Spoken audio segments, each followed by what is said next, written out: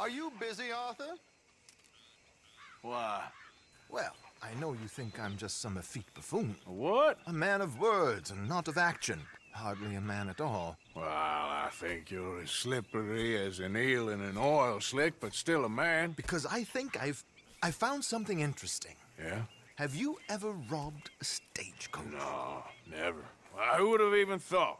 Of course I robbed a goddamn stagecoach. You know I have. And what's the problem with stagecoaches? The armed man attempting to put a bullet in your head? Not quite.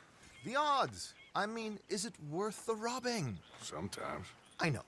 But, well, if you'd like to come with me, I can introduce you to a new best friend, and he's he's going to give you all the decent, robbable stagecoaches a hot-blooded degenerate could require. Well, I could require a whole lot.